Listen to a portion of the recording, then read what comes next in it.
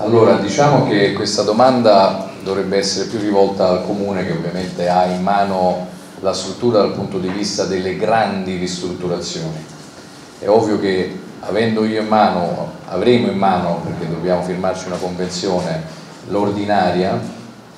io nel frattempo, pur non avendo la proprietà eh, di questo stadio dal punto di vista della convenzione, ho rinnovato eh, i locali importanti, quindi a partire dai nuovi pavimenti su cui state posando i vostri piedi, fino ovviamente a una riprendizzazione dei portali di entrata per comunque permettere anche ai tifosi di poter comprendere che c'è una nuova gestione, fino a, fino a poi eh,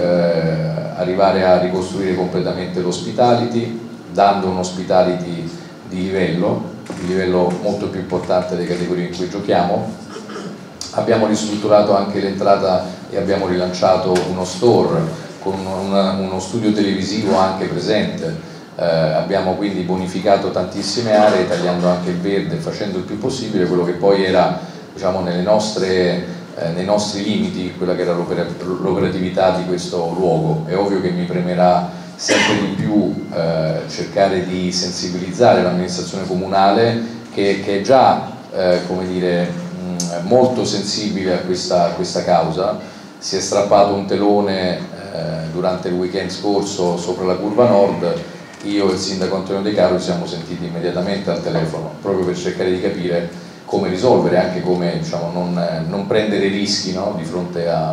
a queste problematiche è ovvio che poi c'è anche un vincolo eh, di Renzo Piano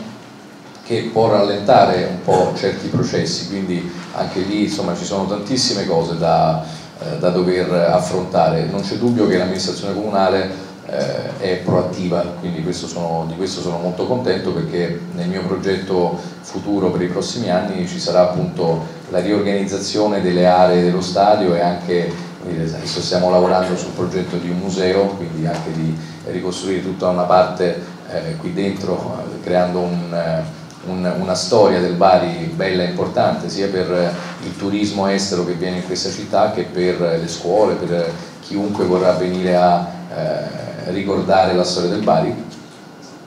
Mi piacerebbe eh, ricostruire eh, una sports clinic, ieri a Roma al, al Football Summit che c'è stato al Social Football Summit eh, romano dove comunque abbiamo avuto anche il pregio di poter rappresentare questa squadra al cospetto di tanti altri brand importanti come l'Inter, la, Roma, la Juve, il Napoli e eh, squadre internazionali.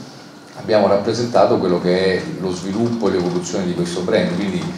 per ritornare alla tua domanda eh, sicuramente sarà nostra premura valorizzare il più possibile ogni singolo aspetto di questo stadio eh, abbiamo cominciato a dialogare proprio nel momento in cui il Bari stava eh, acquistando tutti i giocatori che poi avete visto, quindi diciamo, da quel punto di vista eh, il Bari ha investito, ha strainvestito per la Serie C, quindi non è che abbiamo non mantenuto le nostre promesse da quel punto di vista. Le altre promesse sono state la continua costruzione di valorizzazione del brand, quindi a partire dal lancio di uno store allo stadio, a partire dal restyling totale dell'hospitality, restyling, cioè mi ripeto diciamo delle cose che ho fatto, che, di cui ho detto prima, però il, il Bari continua a costruire eh, intorno a sé, quindi trovando partner, trovando eh, continuamente una valorizzazione stessa, quindi chi sale a bordo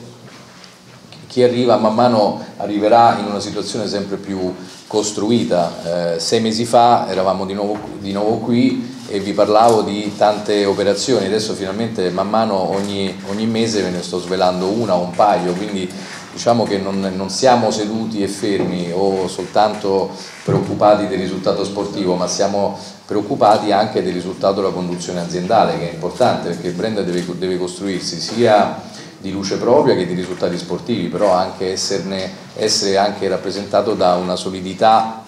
rappresentativa importante, anche quello è. Poi è ovvio che i risultati sono importanti, la, la partita di domenica per me cioè, ci sto pensando tutte le notti perché è ovvio che non si possono perdere punti in questo momento del campionato, il mister finora ha avuto 10 risultati utili consecutivi, eh, quindi noi dobbiamo continuare sulla nostra strada, dobbiamo essere concentrati, abbiamo eh, un gruppo di, di calciatori che sta tirando fuori le unghie, abbiamo cambiato modulo, abbiamo attraversato tante avventure, non è facile, quindi eh, sicuramente è un campionato al cardiopalma e io dico ben venga, nel senso che poi deve essere un film d'avventura perché se fosse noioso ci sarebbe molto meno seguito, quindi spero domenica di vedere tanti tifosi, come lo dico sempre, ma perché è troppo fondamentale, siamo in un momento in cui bisogna dare il sostegno massimo a questa squadra. Non è una cosa che amo dire, nel senso che